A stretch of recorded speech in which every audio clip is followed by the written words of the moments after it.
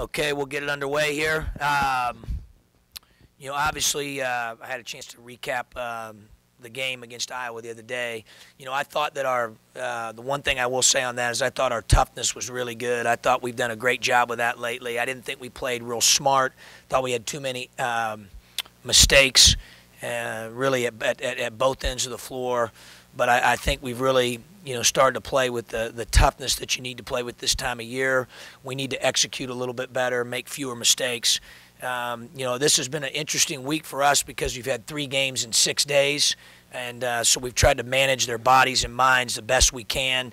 You know, we didn't do a whole lot yesterday because I thought we played extremely hard uh, in, in, in, Iowa City. Uh, so yesterday was a big mental day.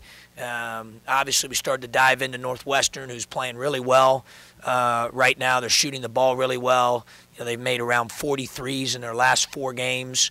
Um, different guys are doing it. Um, they've got uh, some young guys that have really uh, stepped up and played well for, for them. It reminds me a little bit of last year, how some of our freshmen at that time looked in February versus January, and uh, they've clearly gotten better. Um, they're playing with a lot of confidence right now uh, on both ends of the floor, but especially offensively. I think they're really in sync.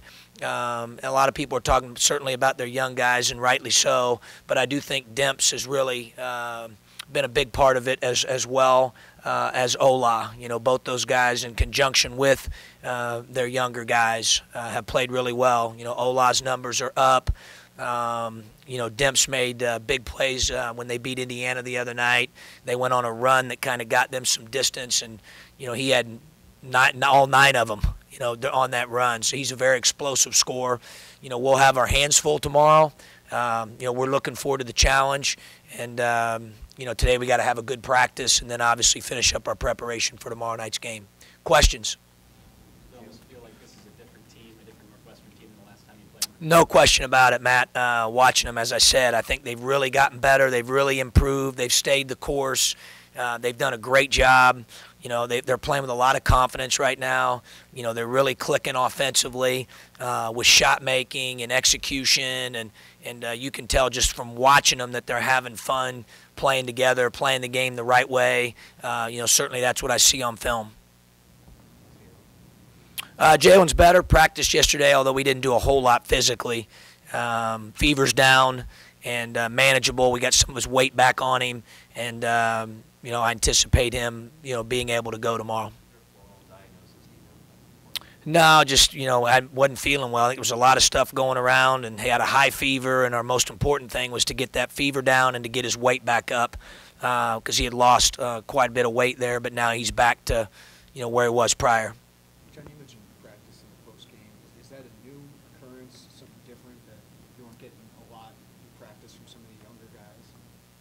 Yeah, I just didn't think they practiced very well. They got to play better, you know, and and uh, it was a good lesson for some of those guys. You know, uh, some of the guys that turned the ball over in practice uh, at the higher uh, rates were the same guys that did it in the game. Um, you know, the same guys that I didn't think were really locked in and in practice. Um, you know, to the level of some of the other guys were the same guys that struggled a little bit in the game. You know, got to play better. Yeah, and it just so happened. It doesn't happen that way all the time, but you know, the two or three guys that were really locked in in practice and had energy and were ready to go played pretty well in the game. You know, so that was the point I was trying to make uh, to our team, and you know, a, a good lesson, you know, for some of those guys to learn.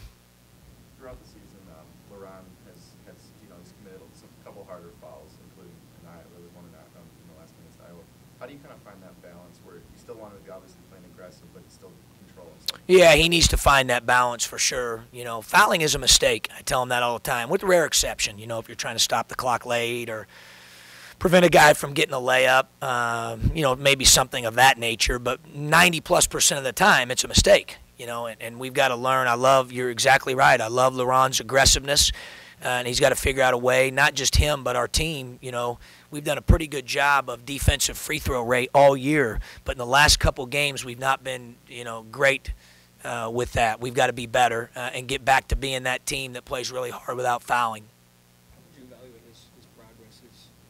Up and down, you know, typical though. I mean, I, I think, um, You know, Leron's had some uh, very good moments and made some big plays for us, and then there's some other things he's trying to learn and, and figure out.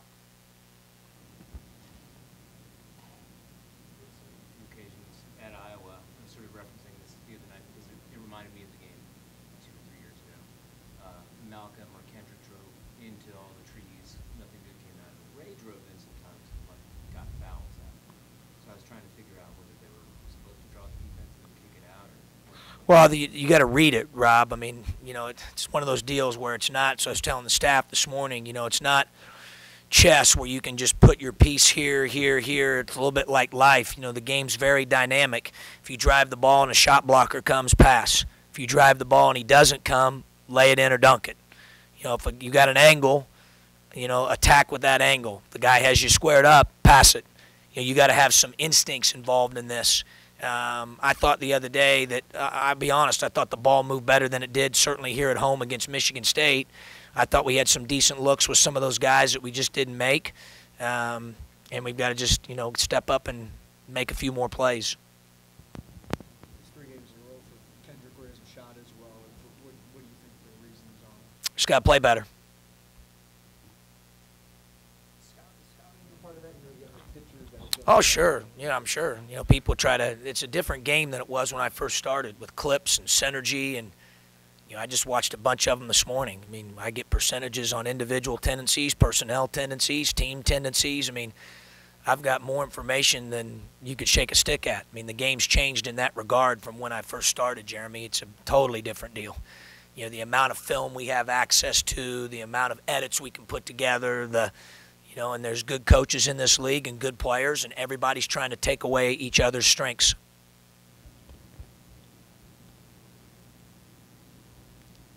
Seems like Ray's doing kind of what he wanted, and it seems like he's playing team game.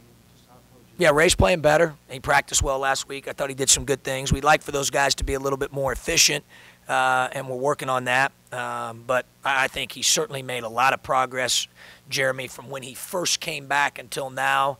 You know, I think that's been significant.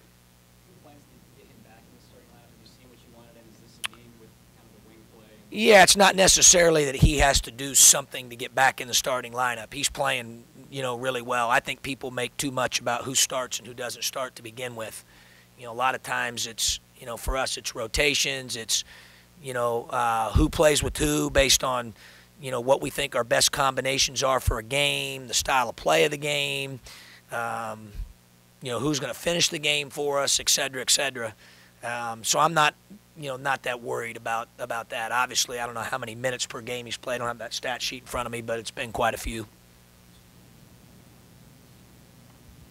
Doesn't seem like Kendrick's lacking in any confidence, though, even though he's had a couple bad games recently. No, Ken, Kendrick's a tough kid uh, mentally and just kind of plays what's in front of him. It's one of the things I like about Kendrick, and um, you know that's kind of what he what, what he's doing. I'm, I'm, you know, for me with him, you know, continuing to emphasize defending, taking a little bit better care of the basketball.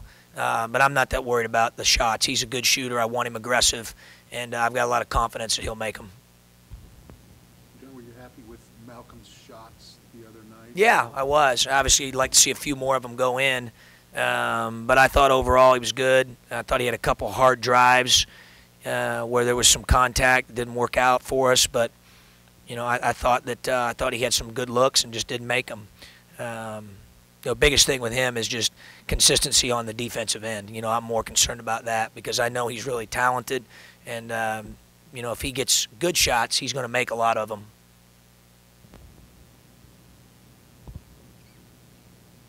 Anything from the phone lines here for Coach? Hey, John, it's David Mercer from AP. Hey, David. Um, it, it, talking about all the, the shooting problems, um, back at the beginning of the year, you said you were pretty confident that this bunch would be a lot different than last year in its in its struggles. To what extent are you surprised to sort of find yourself in the same place at this point in the year? Well, I don't think we're in the same place, uh, David, at all. Uh, I do think certainly having to, you know, coach several different teams throughout the course of the year, change style of play, adapt, adjust, uh, offensively and defensively. Um, you know, certainly that affects rhythm a little bit and continuity and, and uh, growth to some extent. Um, but you know, at the end of the day, we've got to figure it out. I've said that from the beginning, um, and we've got uh, we've got to execute a little bit better than what we're doing right now. Make a little bit fewer mistakes. Um, but in terms of our shots, you know, I, I think those, you know, right now I'm not, I don't have any issues with our with our shots the other night against Iowa. Um, I thought that we moved the ball better, and you know, we just didn't didn't make it, didn't make enough of them. Thanks. Sure. Curious about adding or deleting a player and it changes the team. What, what have you seen? How has, how has Ray's kind of changed? Um, you know, it's great to have some depth. You know, obviously, there for a while we were playing those guys a, a longer, longer stretches. You know, they were playing a ton of minutes. Um, so I think that part has helped us for sure. I think obviously he helps our rebounding. I think he helps us defensively with giving us a lockdown guy uh, on on the perimeter. Um, so I think all those things have certainly you know helped our team, and you know now we've just we've got to figure out a way to you know continue to work our synchronization on offense. I think that's gotten better for sure. The other night I felt like we just didn't make enough shots. You know, the Michigan State game I thought the ball stuck. You know, it was too sticky. So I, I thought we improved uh, from the, uh, from Michigan State to Iowa. Um, but I, I think certainly it's it's great to have him, you know, back out there because he's he's one of those guys that just he doesn't affect the game just on the offensive end. He can affect it rebounding. He can affect it defending. He can, you know, he gets his hands on a lot of balls. Like he just he has an ability to affect the game in all three areas: defending, rebounding, and offense. You know, so anytime you can add a guy like that back to your rotation, you know, at the end of the day, once we get synchronized, it's a benefit.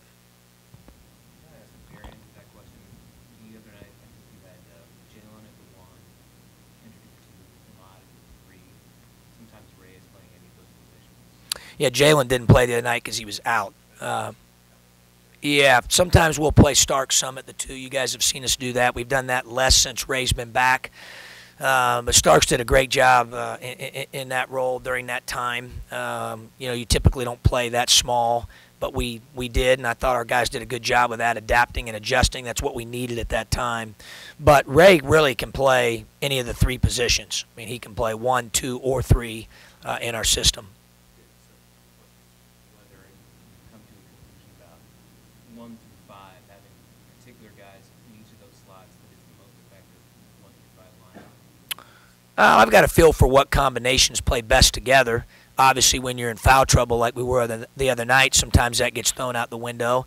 And then some of it's based on the team you're playing um, and what you see and what they're doing defensively and who you think might be best in there at the time. So it's not necessarily a rote uh, deal. You know, we have a an idea, but most games, I'll be honest with you, Rob, because the game balls like life, you get thrown pitches and you've got to adjust during the game on the fly.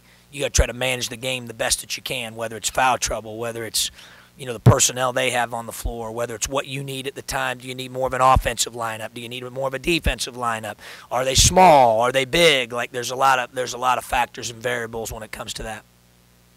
Under what circumstances do you, would you play Ray at the one, Joe? uh, like the other night that we did the other night.